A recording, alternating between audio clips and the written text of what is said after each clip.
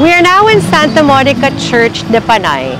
It is said that here they house the biggest Christian church in Asia, which is called Dakong Lingganay. Hopefully, we can see Dakong Lingganay in a bit. Santa Monica Church was built in 1774 using coral hollow blocks and neoclassic Baroque architecture.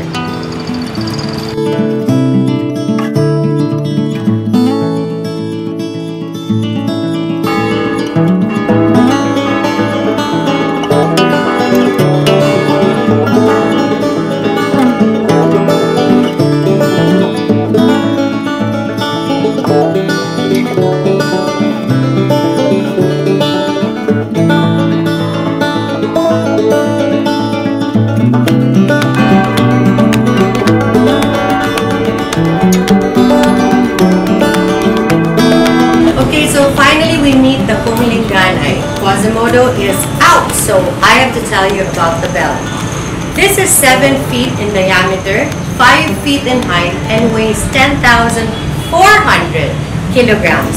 It is rung every morning at 5 o'clock and 6 o'clock a.m. and you can hear it from as far as 8 kilometers away.